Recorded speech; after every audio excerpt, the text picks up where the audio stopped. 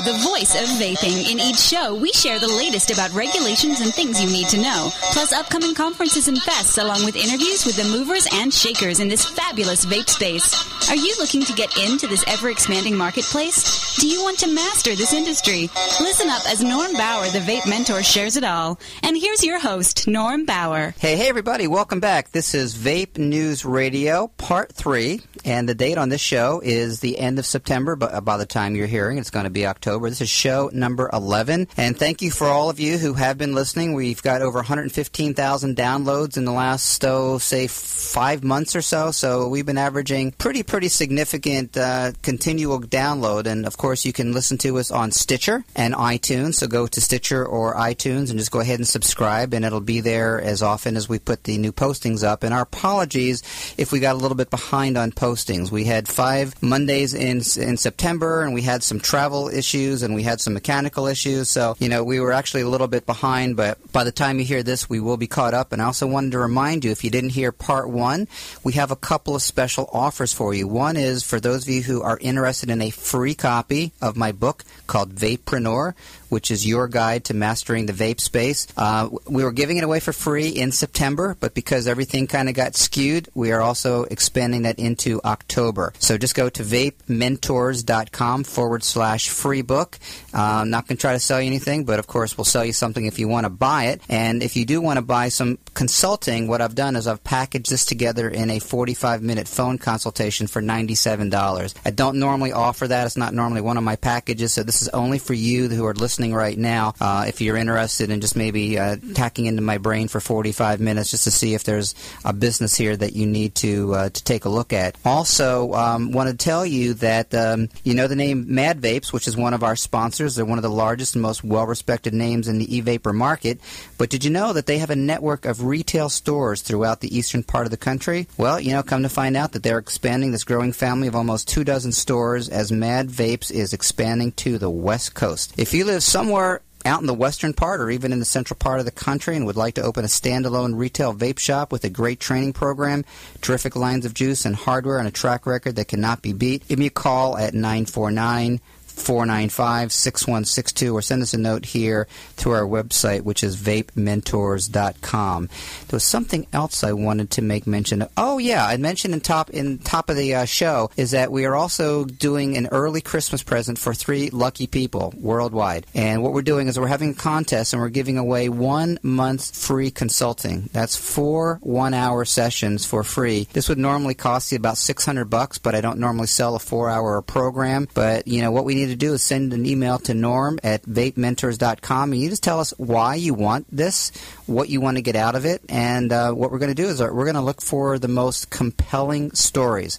This is not going to be a random drawing. I'm looking for people who really, really are serious about getting into this industry. And you know what? If you're not interested in the vaping industry, that's cool. I can certainly give you some business strategic training in other businesses as well. But I'm going to, you know, make the broad leap that if you're listening to this show, that that means you must have some degree of interest in the vaping industry. Moving right along, uh, in section number two, we interviewed the gentleman behind Mr. Good Vape, and now we're going to go a little bit of a similar but different direction.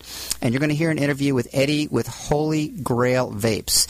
Here's what caught my attention. You know, I've had people ask me or write me about this thing called CDB, that's Cat Dog Boy, uh, which stands for cannabidiol, and it's derived from hemp. Now, hemp, of course, has different connotations, and you know a lot of people associate it with marijuana, but it's also something that's been grown for thousands of years for paper and for clothing and for all kinds of different things. And I thought that hemp was legally able to be grown here in the United States, but not anymore. Thank you, President Obama. There has been some changes, and now there's some um, there's some restrictions on hemp growth. So this is an interesting conversation about the crossover between our vaping industry and the marijuana industry. Because here's the prediction I'm going to make: within the not too distant future, and I'm going to say certainly within the next four years, you will see legalized marijuana on a national scale.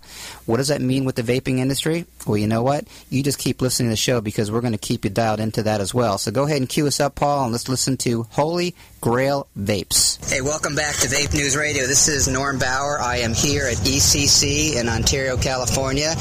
And as much as I pride myself on being a good teacher of this industry, I'm also a good student. And so there's a lot of brand new things coming around all the time. And so I ran into a gentleman named Eddie who is with a company called Holy Grail Vapes. Holy Grail Vapes. And they're offering a product line that, in all honesty, I really don't know very much about, but yet I get asked about it all the time. So I'm going to get educated, and you're going to get educated at the same time. So, Eddie, welcome to Vape News Radio. Pleasure to be here. Pleasure to be at ECC. I'm really excited. Uh, looks like it's going to be a good turnout. Uh, people are lined up at the doors, which is great. A lot of people here to uh, hopefully see Holy Grail.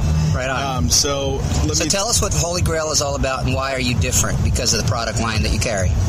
Okay, so let me give you a little bit of my, my background. I've been in the industry since 2009. We uh, primarily dealt with uh, all of the nicotine and uh, the, the, regular norm that's in the industry.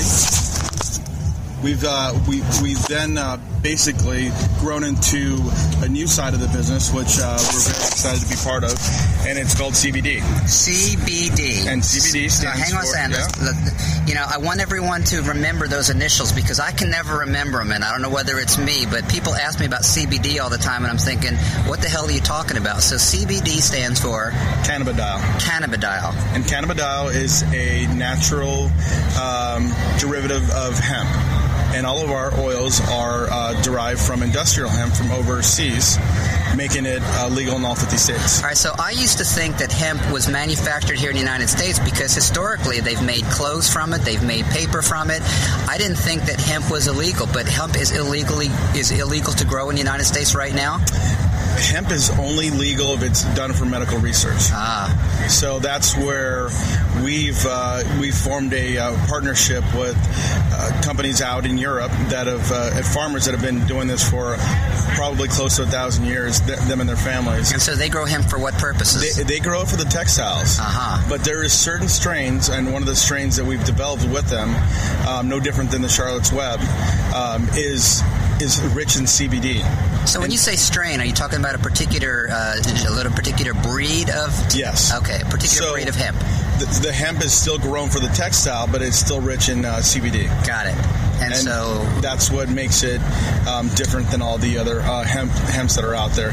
Here in the U.S., if you were to take, um, I would say 99% of the plants from the hemp that are either grown for marijuana or, or research, most of those plants are still going to be high in THC. It would cost. Uh, the weight of gold in order to produce what we do overseas. Okay, so you know people are taking your CBD and, and they're smoking it just like every other e-liquid, and why they're not getting high from it? Is it just be, is it so? What is it that's unique about TBD flavored oil that makes it different than one that's not?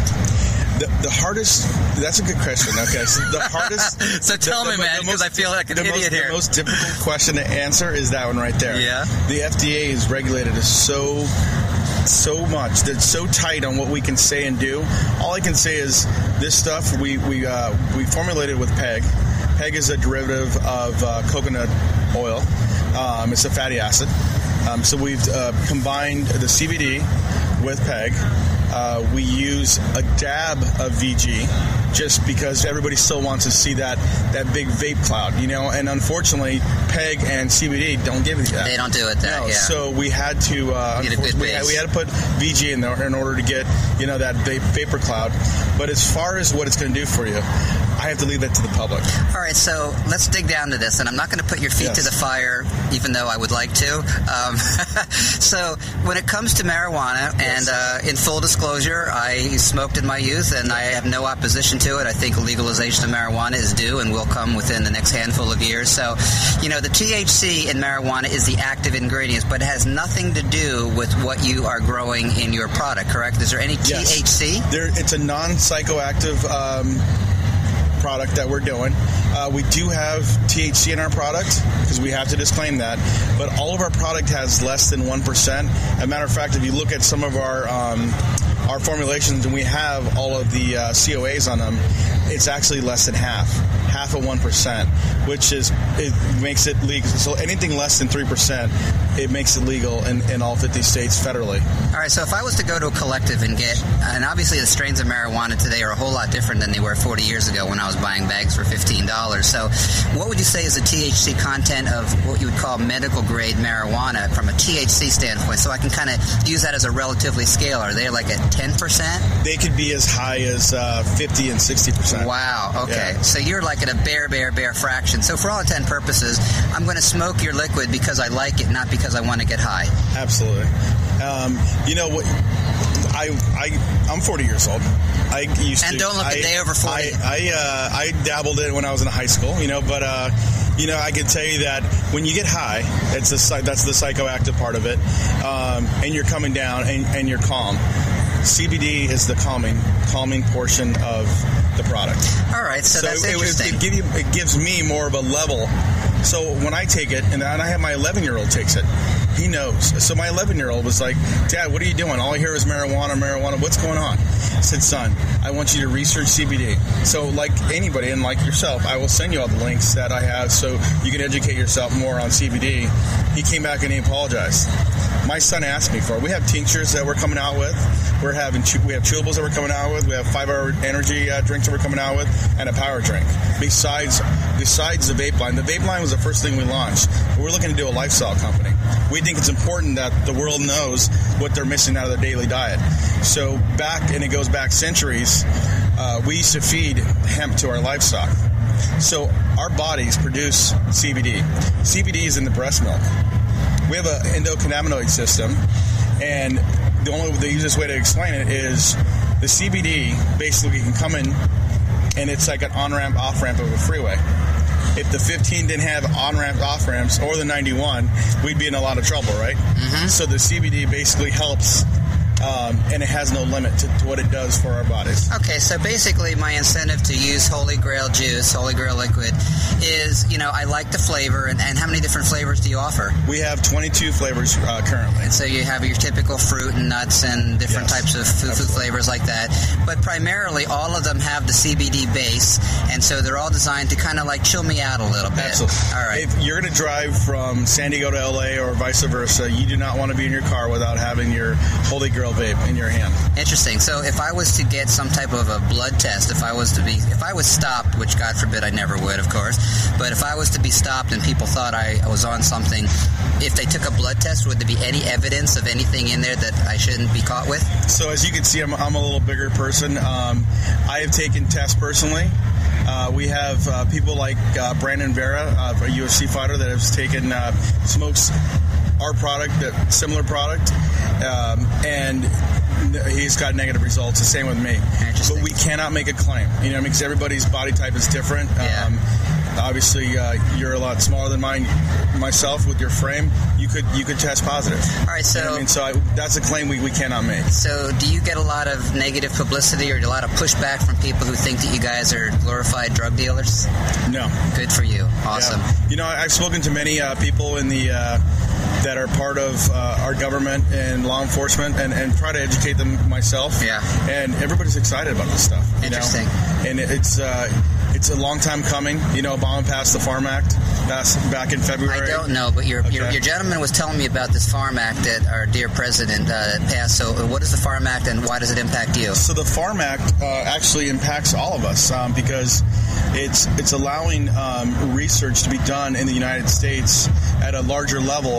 Um, as you see, a lot of the, the states are going CBD only which um, we embrace, but we think that we want everybody to have what they need medically if, if they need it. You know, we'd like them to promote even the THC side because we feel that us, our people, you know, deserve what, what's been taken from us, and a lot of it goes back to greed. You know, if you look at the history of why hemp was taken out of the United States. Interesting. All right, so you know, my business as as Vape Mentors is really designed to help businesses open and and develop a competitive position. So, are there a lot of uh, liquid companies that are doing T CBD.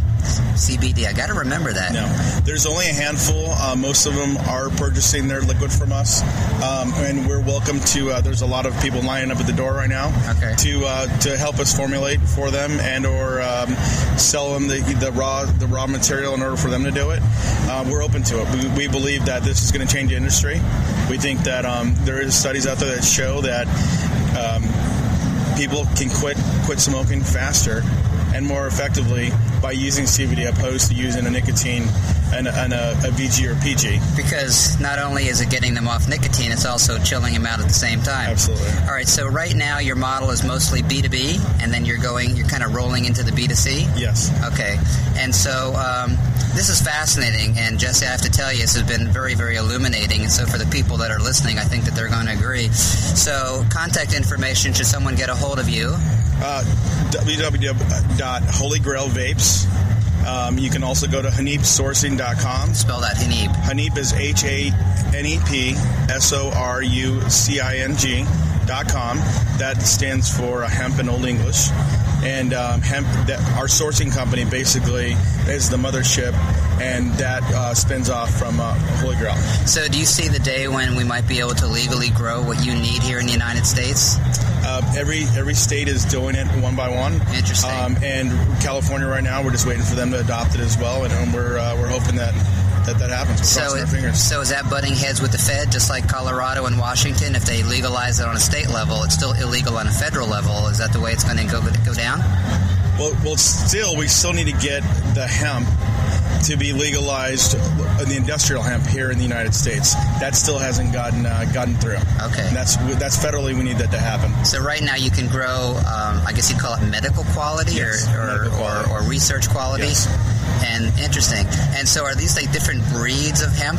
Just Absolutely. like you have different Absolutely. cats and different no dogs? different than a lemon and a lime tree. Okay. They're cousins of each other. That's awesome. All right. So, phone number should someone get a hold of you, or an email address?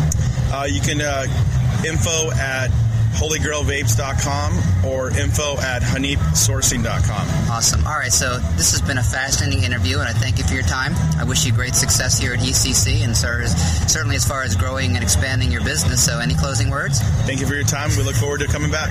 right on. All right, this is Norm Bour with Vape News Radio. Do not go away. We're going to be right back.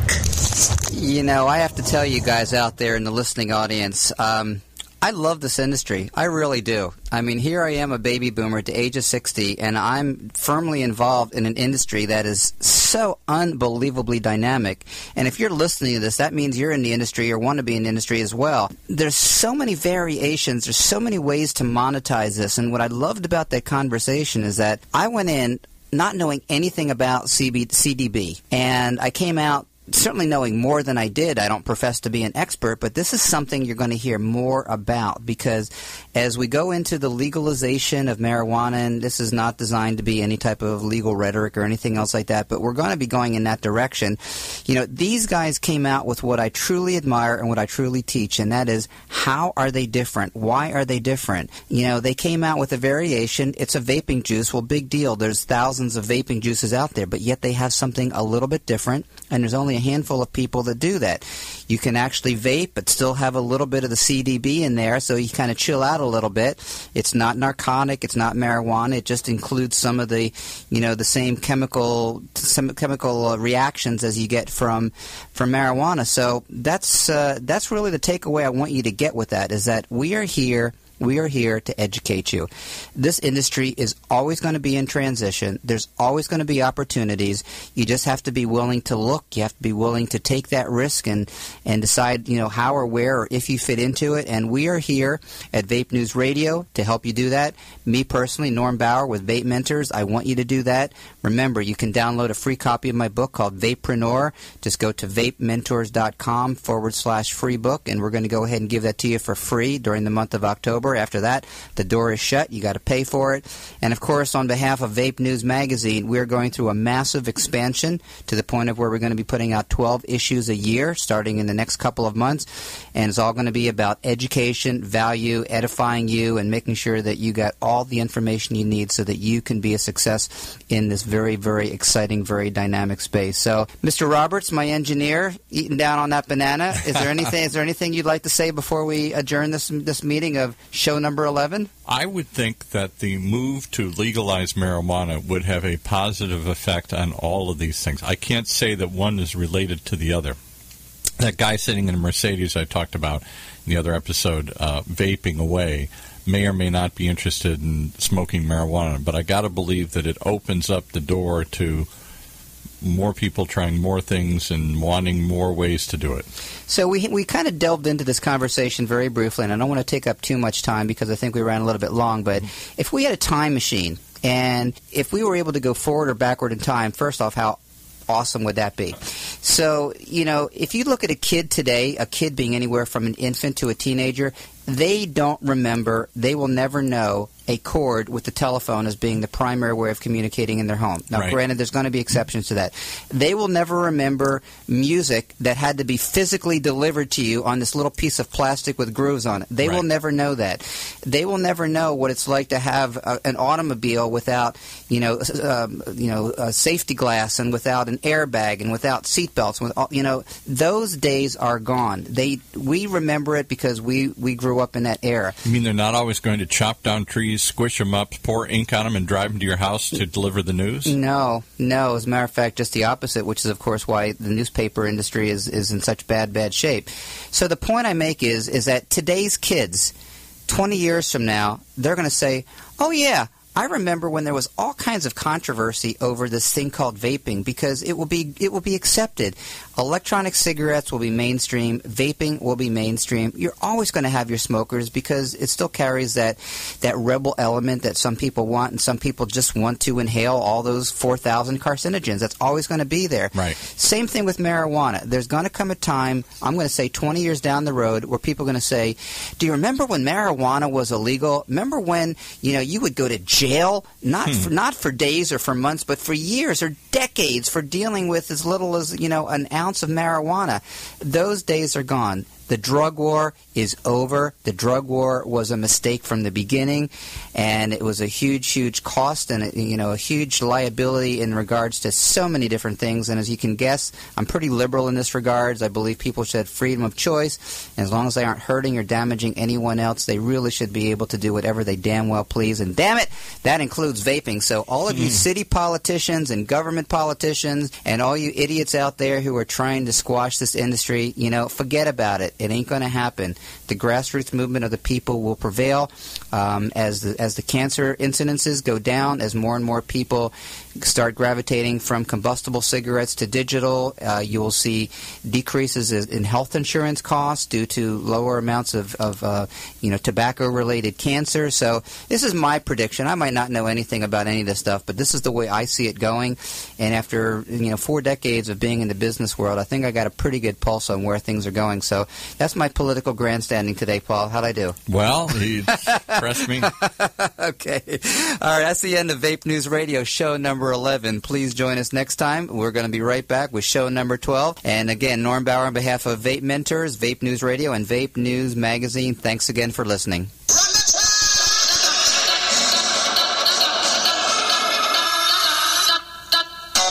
You've been listening to the ramblings and rantings of that crazy person who calls himself a vape mentor, Norm Bour on Vape News Radio, the only show that takes a look at the voice of vaping in this new emerging industry.